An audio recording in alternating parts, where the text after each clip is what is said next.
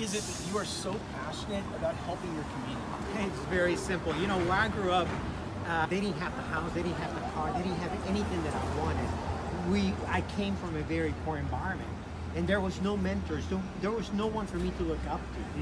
And I know there's a lot of eight-year-old little boys. There's a lot of little Peters out there that want the same dream, that want the same thing that I wanted, and no one to look up to. I want to be able to give, go back to my community and give to them, offer them, teach them, help them find that dream, find that goal, accomplish that goal, accomplish that dream that there was no one available to teach me how to do.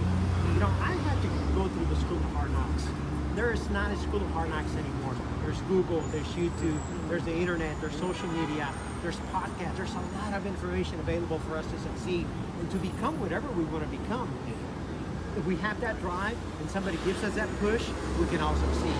I want to be that person pushing a lot of people along the way. Mm.